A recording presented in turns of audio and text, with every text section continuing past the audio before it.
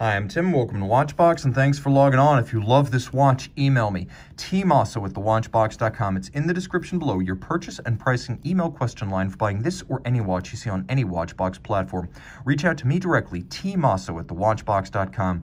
Today, we are discussing a model that was launched in 2019 and built in 800 copies for its first model year. This is the Panerai Luminor Submersible Chrono Guillaume Nery, the PAM 982. 47 millimeters in grade 5 titanium. It is a big watch. 19 millimeters thick, it stands proud of the wrist. And 56.7 millimeters lug to lug with a 26 millimeter spacing between the lugs means that it is an imposing wrist presence. Named after the record-setting freediver, the watch commemorates on its reverse side his 126 meter submergence and recovery without oxygen. This sounds absolutely horrendous. Fortunately, the watch itself looks gorgeous. As you can see, it sits on my wrist immense. 16 centimeters circumference is my wrist. And I'll be honest, if you want this thing to look even reasonably proportional, your wrist needs to be bigger than mine, probably 17 or 18 centimeters. But shock, it does sit comfortable. In titanium, it's lighter than it looks, and the lugs are there to drape the strap around the wrist, not to fight the wrist. So this actually fits secure, and if you have a wrist my size, yes, you can wear this comfortably.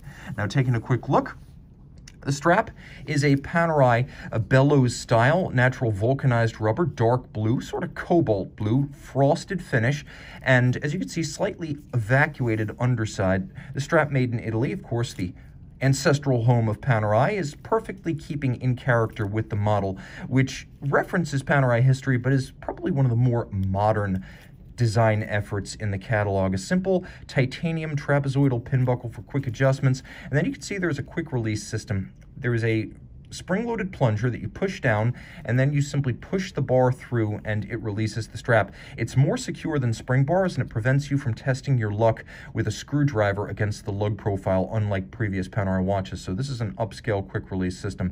Of course you have the image of Guillaume Nery and he's diving into the depths down to over 300 feet. Again, down and up without any supplementary oxygen. That truly sounds like an awful trial. Fortunately, the watch is a breath of fresh air.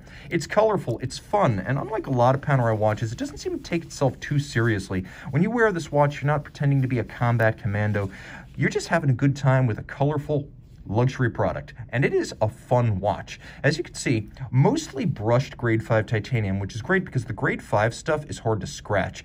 The bezel itself has a polished outer face and a very sharp outer knurling that makes it easy to grip even if your hands might be wet, sweaty, or gloved. There's a ceramic insert, which is great because it probably will be the first thing to hit an obstruction, and the ceramic is very hard to scratch. It will act as a heat shield for your watch.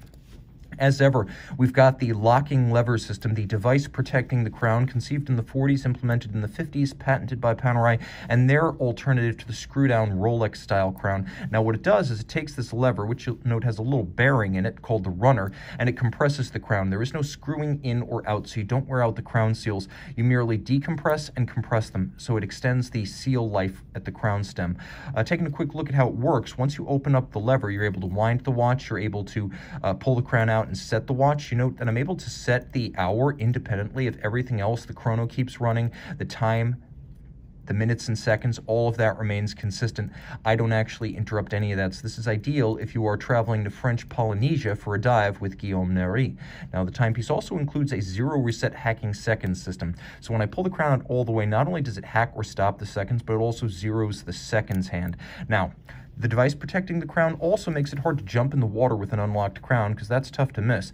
And it gives you all aspect protection that prevents the kind of direct, blunt impact that can damage a traditional screw-down crown. Sapphire crystal, naturally, 300 meters water resistant, and a handsome, almost chiseled profile, sort of a pebbly grain to the dial. Lovely, unusual, and upscale. It also features applique metallic indices rather than traditional Panerai printed features or sandwich dial features, so it looks like a luxury watch. Of course, you have a chronograph at center, and it's a fascinating one because you have a central seconds hand, but then you also have a centrally mounted polished steel minutes hand. So a lot like an old Lemania 5100, you have that central minutes hand that traces 60 minutes rather than the conventional chronograph 30 minutes. Useful if, for example, you are timing a non free dive. There is a hours register, and of course, all the hands, save the chrono functions on the dial, are loomed. Let's have a listen to this bezel, because I've often said that Panerai bezels sound and feel the best in the business.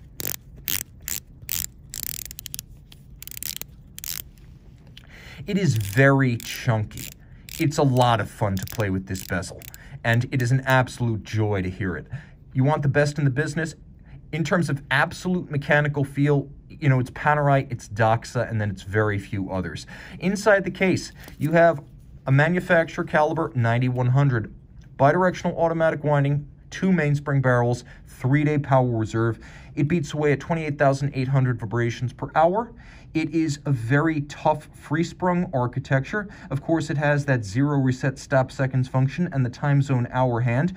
And because it is a chronograph that pivots on 37 jewels, uh, there are some chrono functions included. For example, you have a flyback functionality such that the minutes and the seconds hands zero and then restart with a single push of the trigger down at 8 o'clock. Also, it is a vertical clutch and a column wheel system. So when you actually start the chronograph, there is absolutely no jump to the seconds hand.